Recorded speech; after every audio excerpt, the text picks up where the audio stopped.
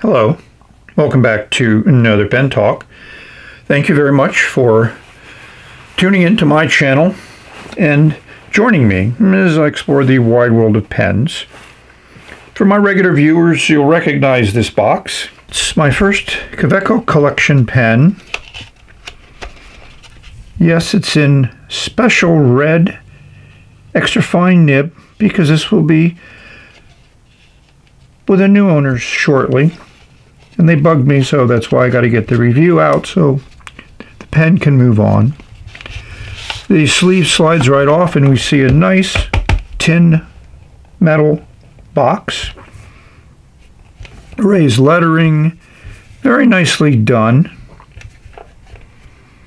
And we see some information in case you want to get in touch with them. Box made in CN. Hmm, interesting. We pop the lid. We'll see some literature, some pieces of paper, and the pen. That same identification there on this sleeve. The pen just slides right out. Not real crackly on the sound thing. And we see an interesting thin pen, octagonal, and we'll notice that the cap is engraved with a, a name, the new owner of the pen. Same finial, well, similar finials top and bottom, but we see the bottom finial has threads on it because that's how you post it. And the cap comes off in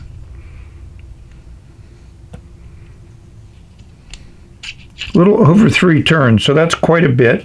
We'll notice a small section, and we'll also see some more engraving, so you know exactly what this pen is.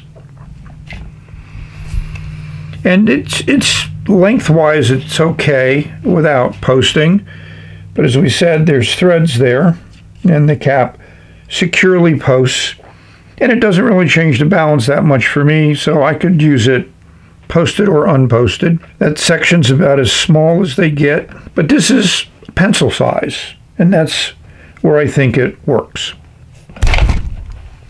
If we look at the section, we'll notice there's a nice rubber O-ring there, so when you tighten down the cap, it tightens against that O-ring, and these facets line up. You just unscrew the section, takes a number of turns, very fine threads there, and we'll see a blank cartridge and then a cartridge with ink. So that's what the pen comes with.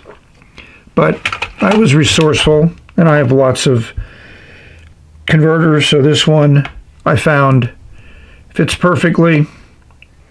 I like the way that uh, design with that kind of like nice soft material there to connect to that little nub and that little metal band to keep it secure.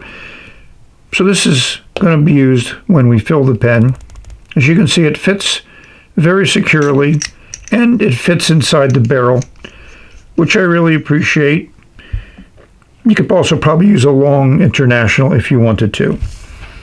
So we're going to give you some dimensions, find a suitable ink, ink it up and see how that extra fine Kaweco nib number 5, which is in a lot of their pens, including the uh, pocket pen, see how it writes.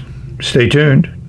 The pen came with a lot of literature, and this pen was uh, provided to me by Pen Heaven. I did a, a review of uh, their offerings, and I think they're a great place to buy. A lot of variety and good prices. Can't beat that. Also is an instruction booklet, and we see there's various filling systems, including a rollerball, pencil, and on this side we have uh, some descriptions from Kaweco and a warranty guarantee thing. And this is also a similar type of booklet, talks about history of Kaweco. I think that's very, very nice. And the other side is again more descriptions of the warranty in multiple languages. The other thing that was in here was some stickers, in case you want to mark something as Kaweco. Do some advertising for them. So now it's time for some editorial comments, dimensions, a summary, and a writing sample. So this is a pen for somebody else. And I think they'll enjoy it quite a bit. At least they've enjoyed it so far. And they've been bugging me to finish the video so they can write with it. And that rubber O-ring lets you put those facets right in right spot. You know, you can turn it until it gets there. So it gives you a lot of leeway. It's not a sure stop. So threads are single threaded. That's why it takes those three turns to get the cap off, but it is secure.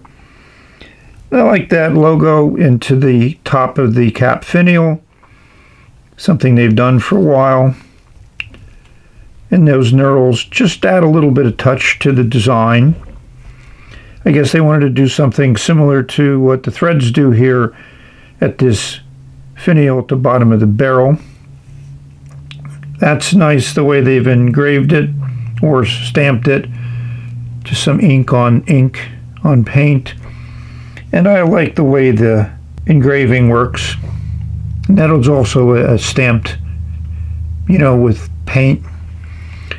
So if you want to do engraving, you can get probably multiple colors, multiple fonts. It doesn't hurt to ask if that's what you want. So let's give you the dimensions of the pen. You can spin off that cap so it can come off pretty quickly. Like I said, that section is about as thin as I would ever want.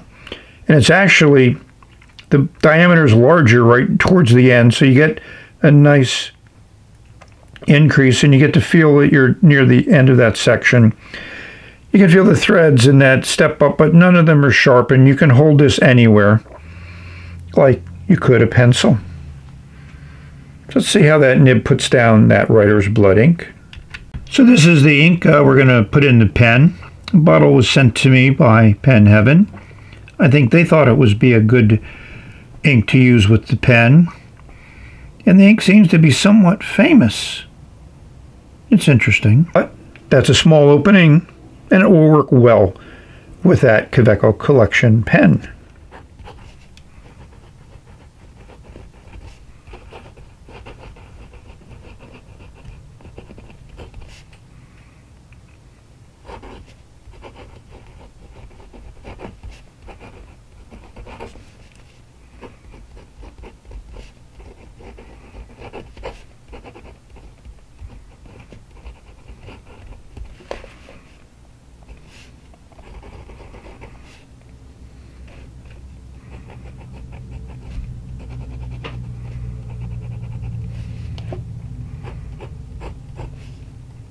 So overall, for an extra fine nib, it works well.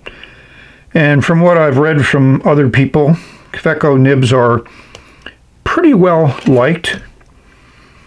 It took a, a, little bit of writing, maybe a half a page, to have that nib just reach its sweet spot. So now it's good. Let's rate this pen. Okay, I'm going to give it a 9.3. It gets one check because it's made well, designed well. If I was going to rate this just on my feelings, it would rate lower, but I'm evaluating this pen for what it is, and it certainly hits the sweet spots for what it is designed to do. And I give it one check for being cute, the red color's nice. The red and gold and brass work together well. So hopefully you've enjoyed this quick review of a interesting pen. And now that I have one, I see tons of them, people talking about them here and there. So a pen that I didn't know existed until I got this now all of a sudden becomes a pen that I see a lot of. Such is life. So I want to thank all of you for watching. Hope this video finds you safe, healthy and happy, enjoying pens, enjoying exploring the world of pens.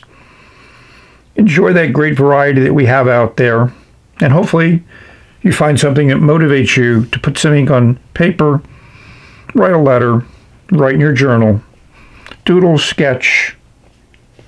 There's lots of things you can do with your pens.